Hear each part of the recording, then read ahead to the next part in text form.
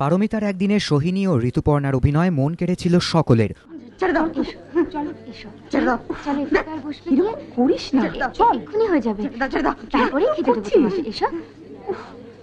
হয়ে মানে?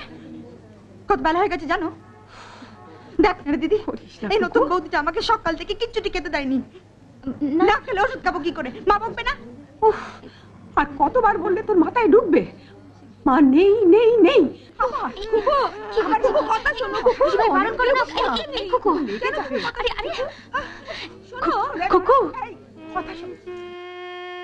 অপর্ণা সেনের এই ছবি মুক্তি পায় দু সালে।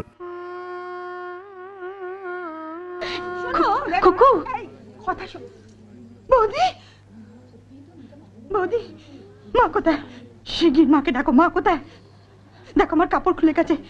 সবাই কেমন তাকাচ্ছে দেখছে ঠিক আছে দেখছে আমার ঠিক দিকে। আছে কিচ্ছু হয়নি। ওই তো নতুন বৌদি তোমার শাড়ি নিয়ে দাঁড়িয়ে আছে। দাও তো ভাই কাপড়টা। দেখ পড়াতে পারিস কিনা। ওই সরো কারও কথা তো বাচ্চা, শুনছে না। দাও আমি দাও। আমি বলে দিচ্ছি। তুমি বসো তো বাচ্চা তারপর কেটে গিয়েছে বারো বছর। আবার একসঙ্গে অভিনয় করতে চলেছেন ঋতুপর্ণা ও সোহিনী। এবার শিবপ্রসাদ মুখোপাধ্যায়ের ছবিতে। আমার মনে হয় যেটা একটা মানে আবার একটা ইতিহাস হবে। তার কারণ এরা দুজন পারমিতার একদিনে পারমিতার একদিন প্রায় একটা কাল্ট ছবি তৈরি করেছিল।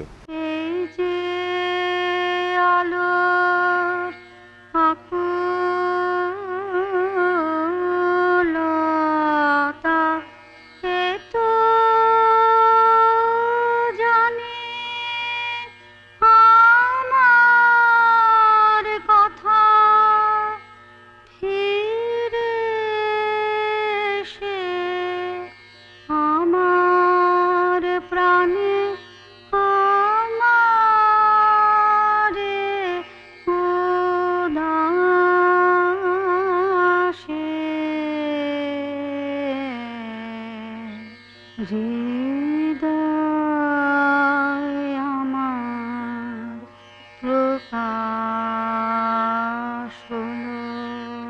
আমার মনে হয় সেম জিনিসটা হবে। তার কারণ অসাধারণ কেমিস্ট্রি দুজন।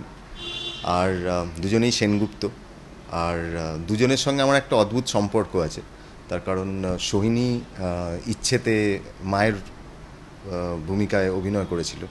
আর সেই ছবির প্রেজেন্টার ছিল ঋতুপর্ণা সেনগুপ্ত। রানা বিক্রমরা সবাই অনেক এগিয়ে যাবে ঠিক করে বলো বাবা। বল দেখি তুই মালিক হয় সে কেমন করে? রানা দেখো সবাই তো এগিয়ে যাবে না। তুমি একটু জেগে ওঠো জেগে ওঠো চোখটা একটু রোগড়ে দাও চোখটা একটু রোগড়ে দাও ঋতুর সঙ্গে তো সবসময় একটা আমার বন্ধুত্ব আছে। ইনফ্যাক্ট ইচ্ছেরও তো প্রডিউসার বা প্রেজেন্টার ঋতু। ঋতুর সাথে অভিনয় করতে ভালো লাগে। মানে চেনা লোক তো কাছের লোক।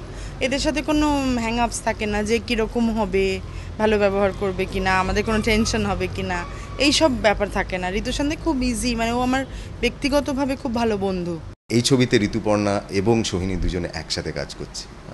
আমার মনে হচ্ছে, দর্শকরাও অপেক্ষা করেছিল এই জুটিটাকে আবার ফিরিয়ে আনার জন্য। তো আই এম গ্রেটফুল টু দর্শকদের কাছে আই এম গ্রেটফুল টু আমার ভগবানের কাছে। এই জুটিটাকে আমি পেয়ে গেছি এবং এদের মনোমতো একটা গল্প পেয়েছি যাতে এদের দুজনকেই মানে এক- সমান একটা জায়গা দেওয়া যেতে পারে যেখানে দুজনেই ফাটিয়ে পারফর্ম করবে। ঋতুপর্ণা ও সোহিনীর অনস্ক্রিন সমীকরণ ফের রূপলী পর্দায় চমক সৃষ্টি করতে পারে কিনা সেটাই দেখার। মনোজিৎ সরকার এবিপি আনন্দ কলকাতা। এই তো শাড়ি পরা হয়ে গেছে। কি সুন্দর দেখাচ্ছে নতুন শাড়ি পরে। যাও লক্ষ্মী মেয়ে। মায়ের ছবির কাছে গিয়ে একবার বসো। নইলে মা রাগ করবে কিন্তু কেমন? তুমি চলে যাবে না তো? না আমি তো এখানেই আছি।